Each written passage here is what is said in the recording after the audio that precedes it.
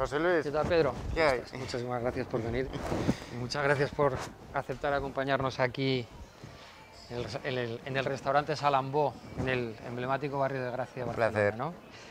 A mí me gustaría que, más allá de, de- de hablar de tus libros, sí me gustaría conocer un poco al autor a través de, de los libros. ¿no? Entonces, vamos a empezar desde, desde el principio.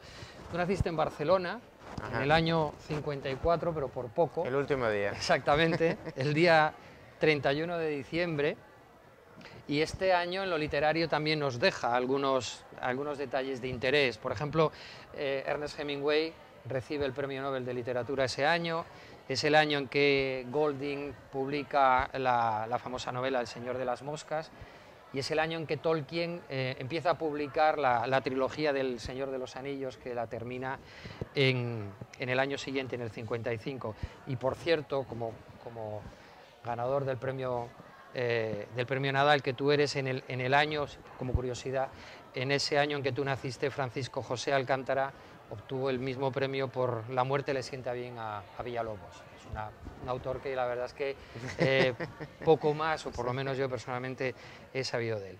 Mm, ¿Alguna preferencia como compañero de viaje de algunos autores que hemos comentado, de estos que han coincidido No tengo la menor duda. eh, Hemingway. exactamente? Eh, Hemingway decía, hago lo posible por, por escribir lo mejor que puedo. Y a veces tengo suerte y escribo mejor de lo que puedo. Muy bien. Este para mí es un lema fundamental. Y además a ti como escritor también de cuentos, supongo que la obra de Hemingway en la parte de narrativa breve te debe de, de interesar también de una manera, Mucho, una manera mucho, especial, sí, ¿no? sí, sí. Tiene cuentos deliciosos. Es más, tiene cuentos hasta que anticipan a los grandes cuentos de Capote. Re- Recuerdo, recuerdo un cuento que se llama Un gato bajo la lluvia. Eh, es un cuento maravilloso que podría haber escrito Capote. Luego hay los famosos, ¿no? los asesinos y todos estos cuentos famosos de Hemingway. Pero este en concreto a mí mm, tengo especial, debilidad por él.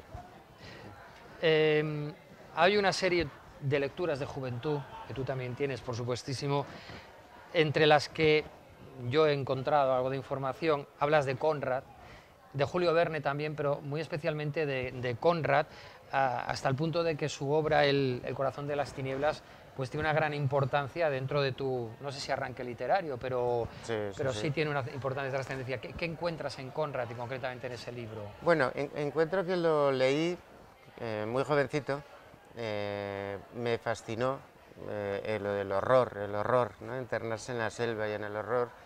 Eh, entendí muy, muy poco del libro, pero me influyó mucho. Luego lo, he leído mm, de más mayor y es un libro que sigue fascinándome. Em, en mí, en, aquella, en aquel momento, igual tenía